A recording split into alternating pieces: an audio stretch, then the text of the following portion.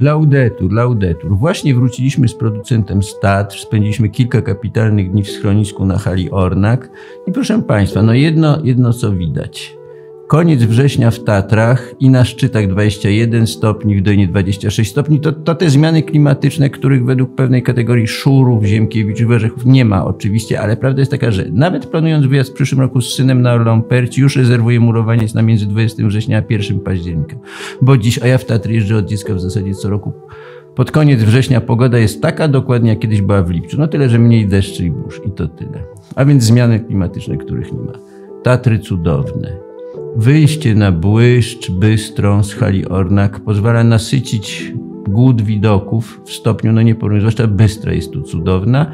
Kwitnie też niebieski tojat, specyficzny zapach rozgrzanych ziół na halach to jedna z tych rzeczy, które czas, czasem mnie budzą, kiedy dłużej niż pół roku w Tatrach mnie nie ma i czuję, że muszę wtedy jechać. Taki specyficzny zapach rozgrzanych ziół na hali i os, dźwięk osypujących się kamieni gdzieś wysoko, tak jak na przykład na Orlej Perci czy Mięguszu.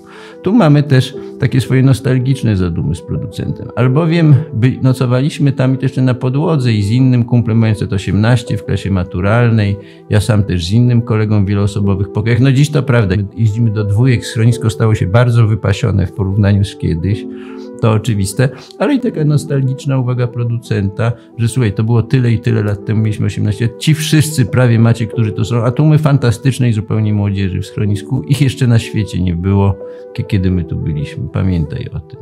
Więc w jakiś sposób jeżdżąc tak razem w te miejsca, kiedy kiedyś się było, chodząc na podobne szlaki, chociaż trzeba powiedzieć, że nieźle się mamy, bo Bystra czy Błyszcz w 6-7 godzin tam z tym nadal są dla nas dostępne, co też oczywiście podnosi jakoś samoocenę. Przychodzi też jednak taka nutka nostalgii. Jest się to od 20-30 lat. Wchodzi się kolejne razy na tu na zachodzie na Bystrą, Błyszcz, Trochacza czy Wołowiec, tam we wschodnich Ostrych Tatrach na Mnicha czy Młęguszowieckiego, że no niestety jest kwestią może niezbyt długiego czasu, kiedy i my przepłyniemy Tatry będą stały, nowe pokolenia będą deptać Wołowiec i Rochacz Ostry, natomiast my gdzieś już odpłyniemy nie wiadomo gdzie, jako właśnie ci przechodnie czy goście na świecie, tak jak pisał Platon i Tolkien.